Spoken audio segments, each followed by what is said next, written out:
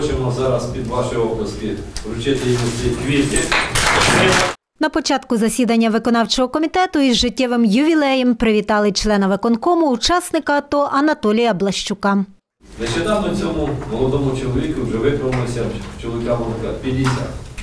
Далі засідання виконкому продовжили не менш приємним повідомленням про те, що споживачам централізованого теплопостачання цього місяця, як і минулого, прийдуть платіжки за тепло, обраховані за дещо зниженим тарифом.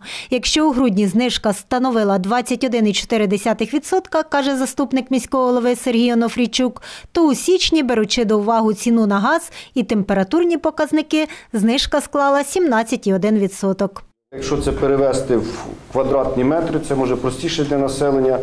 Е, Планувалося е, вартість квадратного метра 36 гривень 22 гривні, а була встановлена підприємством 28 гривень е, 46 копійок. Це було в грудні. Враховуючи відповідне рішення уряду і Нафтогазу, ціна для е, теплопостачальних підприємств встановлена 5500 гривень.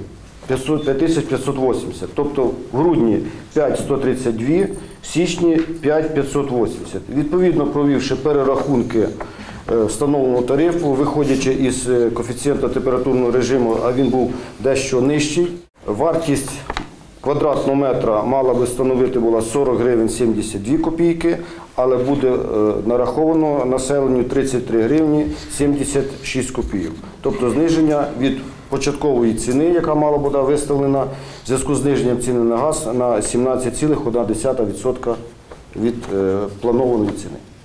Усі числові показники, планову ціну, знижку і до розрахунку буде відображено у платіжках Бердичів Теплоенерго, пояснює заступник міського голови. Тепломережа виписує е, планову ціну, знижку і та йде до розрахунку. Ну, щоб населення, оці, що я зачитав цифри, щоб населення зрозуміло порівняти, порівняти. Да, порівняти і не було багато запитань, чи є знижка. Тобто доведено три цифри, які населенню зрозуміло, які вони мали би платити в зв'язку з знижкою на газ, скільки будуть платити.